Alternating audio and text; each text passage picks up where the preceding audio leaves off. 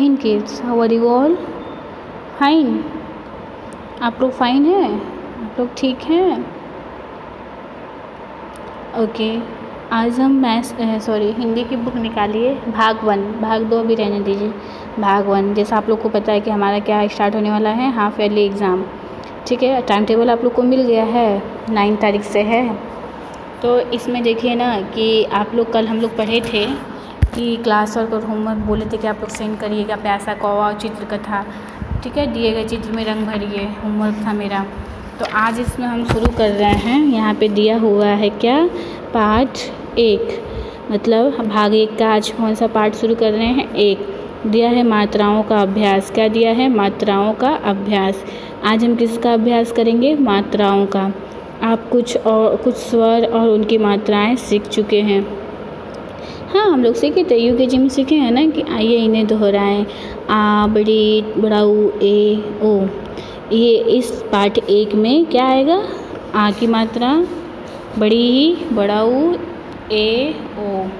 ये सारी मात्राएँ इस पाठ एक में आएँगी, ठीक है? आज हम क्या करेंगे? मात्राओं का अभ्यास करेंगे। ठीक है? पार्ट एक तो आप लोग बुक निकालिए पाठ्य पुस्तक की पेज नंबर फोर पे आ जाइए। हिंदी पाठ्य पुस्तक की किताब निकालिए और सब बच्चे सब बच्चे, नहीं तो इस पर भी आपका मार्क्स कटेगा, ठीक है? फाइव हम लोग फाइव फाइव मार्क्स देते थे ना कि आपकी एक्टिविटी और नोटबुक वगैरह पे तो इस पर सब बच्चे अपना वीडियो पढ़ते हुए रिवीजन करते हुए सेंड करेंगे। हमारा क्या हो रहा है? रिवीजन वर्क हो रहा है, दोहरा रहे हैं हम लोग एक बार फिर से हिंदी में, ठीक है? तो मात्राओं का अभ्यास है तो मात्राओं का अभ्यास में पढ़ते हैं। ठीक है चलिए बुक निकाल लिए हैं। इसमें अब आ जाइए पार्ट चार तो इस पे यही दिया हुआ है कि इसमें कुछ स्वर और मात्राओं का सीख चुके हैं और आगे इन्हें भी दोहराएँगे। ठीक है चलिए। देखिए इसमें पार्ट पेज नंबर फाइव पे, पे पेज नंबर पाँच पे देखिए दिया है कि स्वर और व्यंजनों को जोड़कर चित्र और चित्र पूरा कीजिए और इसमें रंग भरिए। यहाँ देखिए, रेड वाला जितना ये स्वर क्या लिखा है? स्वर वर्ड लिखा है। ओ, आ, छोटी, बड़ी छोटा ऊ बड़ा ऊ री, ए ए ओ ओ ए के बाद से ओ ओ, औ अंग अह। ये क्या दिया है? स्वर वर दिया है। तो इनको क्या करना है? जोड़ना है। और फिर उसके बाद दिया है स्वर और व्यंजन। तो अब व्यंजन ये है कख ग ग, अंग। छ, ज ज ट, ठ आड़ दिया है ना?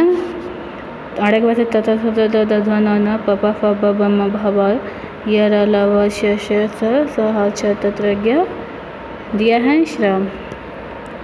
इनको क्या करना है? इस, इसको जोड़ना है। बिंदुओं को दिए गए बिंदुओं को क्या करना है? जोड़ना है। ऐसे जोड़ देंगे और इस चित्र को जब जोड़ देंगे तो इसमें क्या करेंगे? रंग भरेंगे। इसमें आप लोग रंग भरेंगे। कोई सा भी रंग भर दीजिएगा ऐसे। ठीक है? ये बस हम आपको समझा रहे हैं। और नीचे वाटर बना दीजिएगा। ठीक है? ये क्या है? मछली। किस चीज़ का चित्र है? मछली का। चलिए। समझ गए? ये आपको करके मुझे सेंड करना है। होमवर्क रहेगा। ठीक है, ये क्या रहेगा? होमवर्क अब आ जाइए page number page number six पे। अब आ जाइए पेज नंबर सिक्स पे। दिया है बिना मात्रा वाले शब्द। क्या दिया है? बिना मात्रा वाले शब्द। पेज नंबर सिक्स पे क्या दिया है? बिना मात्रा वाले बिना मात्रा वाले शब्द। मतलब इनको क्या करना है? पढ़ना है और समझना है। आपका ये पेपर में हर हालत में आएगा। कंपलसरी इसके लिए इसको ध्यान से पढ़िएगा। क्या पहला दिया है? पहला जो ये क्या लिखा है? अब अब। घर घर, फल फल, रख रख अगर अगर, अमर अमर, अचकन अचकन, अजगर अजगर। ये सब क्या है? बिना मात्रा मतलब इसमें कोई मात्रा नहीं लगा हुआ है। जैसे यहाँ देखिए लिखा है आओ गाय, मीन्स अ में ओ की मात्रा है और ए में चंद्र बिंदु मतलब ये मात्रा वाला है। लेकिन जो हम ये पढ़ रहे हैं, ये सब क्या है? बिना मात्रा वाले शब्द हैं। तो इसको आपको ध्यान से पढ़ना है। और जैसे आ सकता है पेपर में दो अक्षर वाले शब्द को टिक करिए, या दो अक्षर वाले शब्द को लिखिए, ठीक है? या चार अक्षर वाले शब्द को, या बिना मात्रा वाले शब्द को सर्किल कीजिए, गोला बनाइए, ऐसे आ जाएगा। तो आपको क्या करना है? ध्यानपूर्वक इसको करना है और पढ़ना है। समझे? फिर दिया है आओ गाय। अमन अमन अमन अमन। अमन अमन, चल चल। अब अब घर घर, चल चल। अमन अमन, अब घर। अमन अमन, चल, अब घर, चल। मत मत, झटक, मत, मटक मटक। सर सर, मत मत, झटक झटक। मत, मटक, सर, मत, झटक। सर पट सर पट चल चल। अब घर चल।